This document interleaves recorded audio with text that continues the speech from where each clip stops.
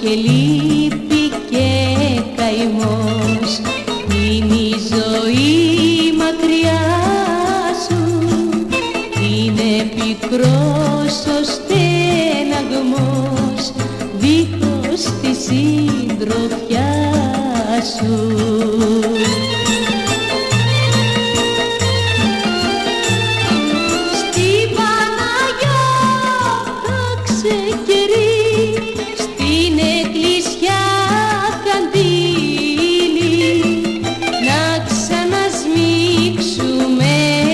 Μαζί να δουν χαρά τα χείλη να ξανασμίξουμε μαζί